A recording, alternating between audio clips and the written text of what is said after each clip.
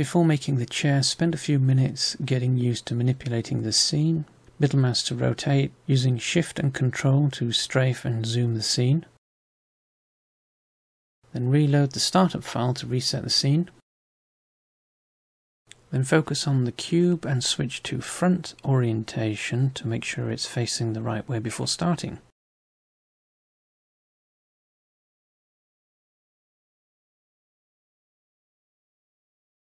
Switch to edit mode using the mode selector or tapping the tab key.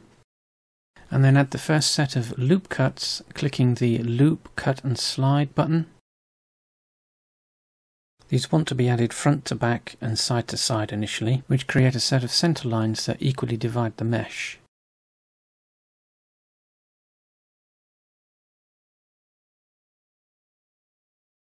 Create another set of cuts, this time holding the control key down to snap. Try and make sure the cuts are equidistant from the edge all around the mesh. So keep an eye on the bottom left of the 3D view in the 3D view menu header for the edge slide value. With the control key held down, when it reads 0.5, left click to set the cut. This structure is relatively important because the legs and the back of the chair will be extruded from the resulting faces of all these loop cuts so spend a bit of time trying to make sure that they're approximately equal. Once done, reset the orientation again to front just to make sure the mesh is facing the right way. At this point, limit selection to visible will probably need to be enabled to prevent distraction from other lines that can be seen through the mesh. With that done, set selection mode to face and then multi-select, shift right click a set of faces along the back edge of the chair. Reposition the scene to allow for an extrusion, then click the extrude region button or press the E key to extrude. A set of faces will appear, right click to deselect and then left click drag the blue handle of the widget upwards holding the control key down to snap to the grid. Alternatively, use the translate properties and type a vector value into the z-axis.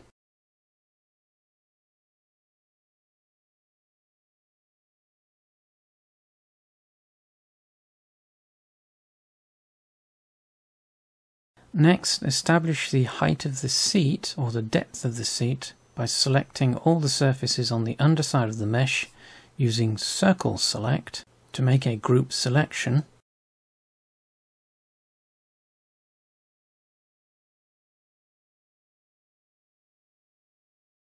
Make sure any previous selections are deselected. So deselect all. Use circle select to reselect the underside of the chair again. Again to make a group selection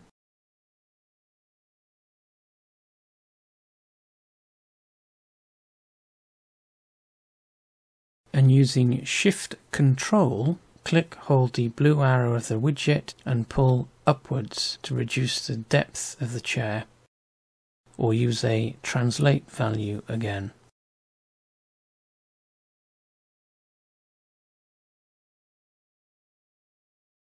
Once the seat's depth has been set, the next thing to do will be to extrude the leg. So on the underside of the mesh again, select the corner faces, shift right click to multi-select, then click the Extrude Individual button or press the E key. A set of new faces will appear again, right click to deselect, then holding the Control key down, left click the blue widget arrow and pull downwards. Release Control and the mouse button to confirm. This then completes the construction part of the process.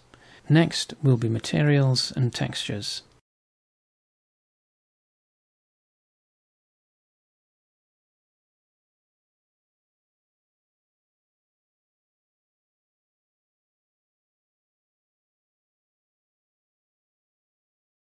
The Material Properties button is usually hidden from view by default, so Move the mouse over the border between the 3D view and the main properties panel until the double-headed arrow appears. left click, hold and drag to expand the properties panel outwards to reveal the material button. Click it to reveal material properties and then change the name of the material that's there already, which is the default cube material. Use the color picker to change the diffuse color. Tap enter to confirm or left click elsewhere on screen. Click the texture button to the right of material button. Change the texture type to image and movie. Select both from the preview and then click the Open button to browse to and select the image to assign. Then click Open Image to load the bitmap into the material.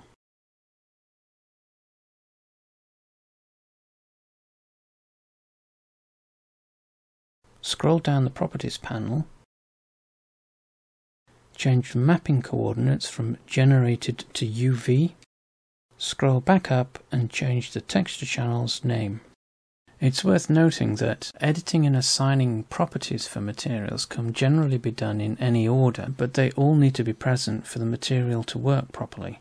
Having said this, although the material is set up and assigned to the object, changing viewport shading makes no difference at this point, so the mesh will appear untextured, although the chair can be rendered as a textured static image.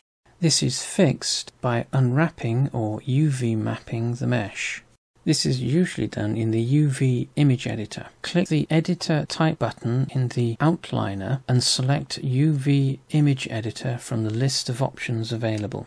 Switch to edit mode and then select the entire mesh. This may need to be done twice to deselect any previous selections and from the UV image editor, click the Browse Image button and select the previously loaded image from the list available. The default mapping at this point has each face of the object mapped one to one to the image, something that can be seen when individual faces are selected. They all occupy the same space, basically the entire texture. The most straightforward and often easiest way to unwrap the mesh is to do it based on selection. This essentially means selecting groups of faces and then UV mapping them as units. So it's quite possible to work around the mesh, selecting groups of faces and wrapping them as individual units across the entire object.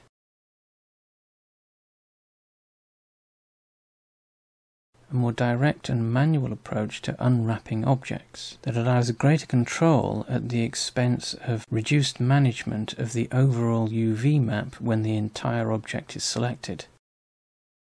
For example, when the back of the chair is selected and then another element is added to that selection, they often overlap, which makes it difficult to edit the UVs. A better way instead is to mark seams and take advantage of the way edges can split or divide a mesh into sections that can be logically unwrapped.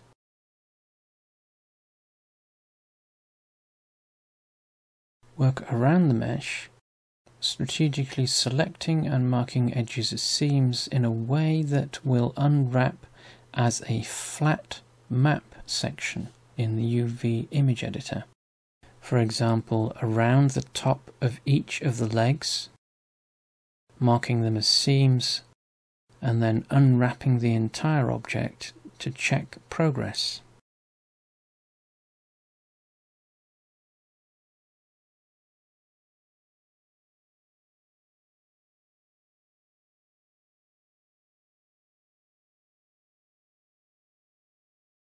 Remember to remove any light objects by either deleting or moving them using layers, otherwise they interfere with the ability to see the edges of the mesh because of shadows and shading.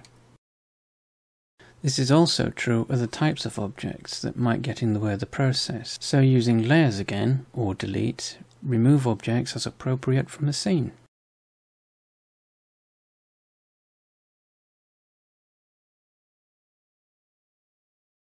Remember that when marking seams on an object like a chair, to place them at the underside of each leg in order for it to unwrap as a flat map without any distortion.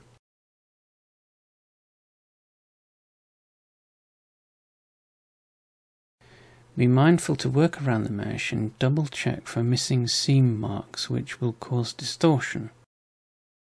Edit and amend those as needed. Then once again select the entire mesh and then double check the seams that have just been marked have worked correctly and the map is laid out properly. Then rinse and repeat.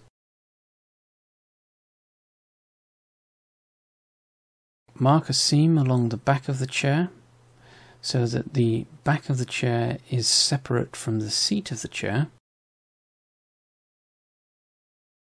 Then mark edges along the front of the seat to flatten that when it's unwrapped. Mark the seams.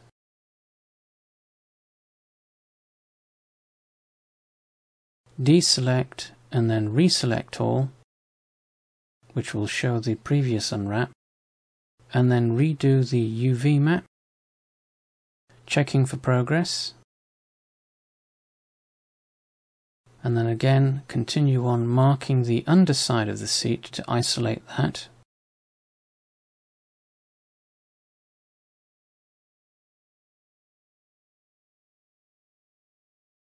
Mark seams, select all unwrap, double check progress again. This shows a large area of distortion around the back of the chair because the seams haven't been set out properly, so deselect everything. And then mark a set of seams down one side across to the top and down the other side Mark those as seams deselect, reselect, and then unwrap. This should result in a proper or neat UV map. With the map now available to make it easier to edit, toggle the UV editor full screen and then switch the selection mode to Island from the header menu. This helps select individual elements of the UV map without having to use border or circle or the other selection tools. Make some basic adjustments to the UV map. Toggle full screen back to the default layout so that any adjustments made to the UV map are seen in the 3D view. So selecting the UV for the back of the chair and moving that in the image editor, that movement is reflected in the main 3D view. Same for the underside of the chair, which is hidden from view, the seat, and each of the legs.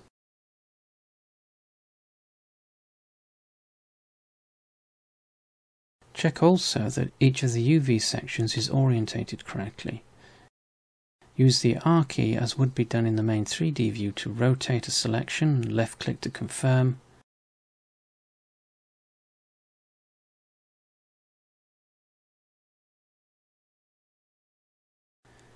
and then S key, again similar to the 3D view, and scale the entire map so it all fits inside the texture space.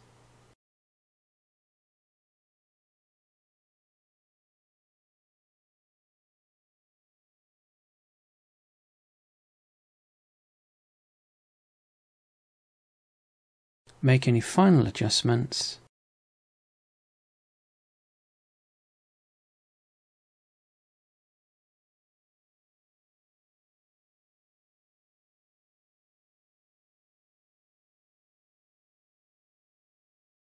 check the mesh, make sure nothing is distorted or misaligned.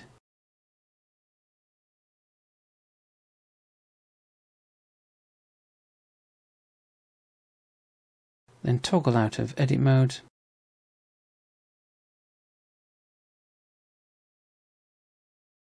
And there we have a simple chair, textured and UV map.